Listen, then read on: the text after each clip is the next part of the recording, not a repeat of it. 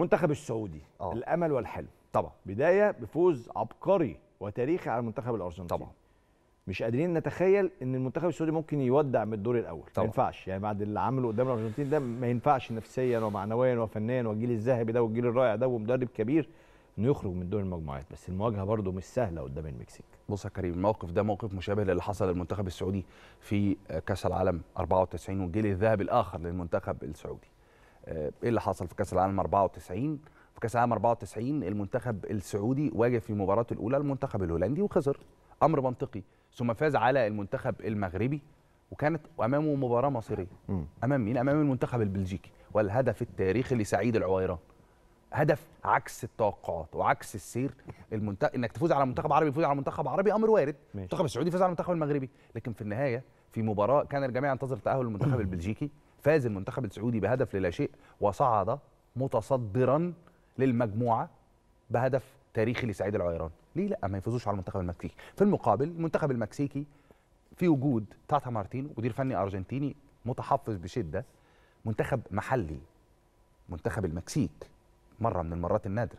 عدد اللاعبين اللي بيلعبوا في أوروبا في ال lineup الأساسي اثنين لعيبة. جواردادو في ريال بيتيس ولوزانو في في, في نابولي. بيتكلم على اثنين لعيبة. موجودين في المنتخب المكسيكي بس بيلعبوا في أوروبا.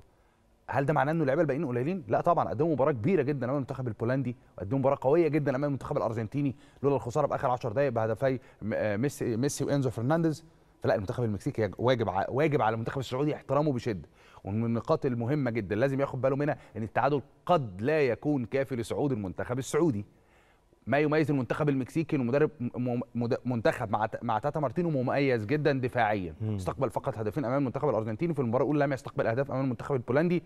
حتى الآن منتخب عقيم تهديفيا. ده مش معناه إن ما عندوش لعيبة مميزة جدا. زي راؤول خيمينيز على ال bench فيجا في التشكيل الأساسي لوزانو آه، موجود. والمنتخب المكسيكي لا زال عنده حظوظ.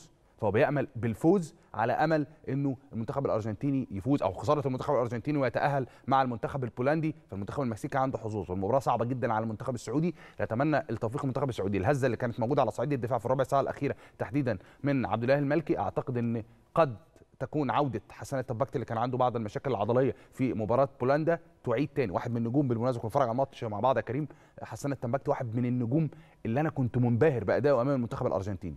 أتمنى تكون عودته عودة للانضباط على صعيد الخط الدفاعي للمنتخب السعودي. وليه لأ؟